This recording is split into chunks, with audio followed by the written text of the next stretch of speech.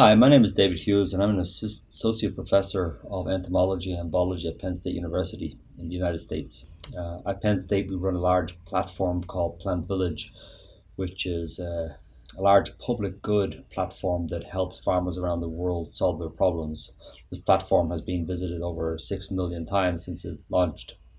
In the last year, we have been developing an app which uses machine learning or artificial intelligence um, particularly using a, a component of that called TensorFlow. We've worked uh, rather closely with Google.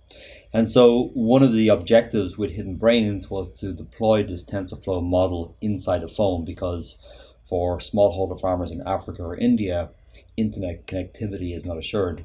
So we had a rather difficult task, which was to determine if we could use this TensorFlow model offline and then integrate that with a regular Android app and then have all of the information be relayed to the cloud when the person was back online and, and connected with the Plant Village platform. And Hidden Brains have done a, a really good job here. They, they've worked very hard on what is a hard problem and uh, really provided a lot of support to us. So so we've been we've been happy with the, the progress so far and obviously we'll continue our relationship with them. So it's a very nice partnership and, and one we which we hope to see will flourish in time. Thank you.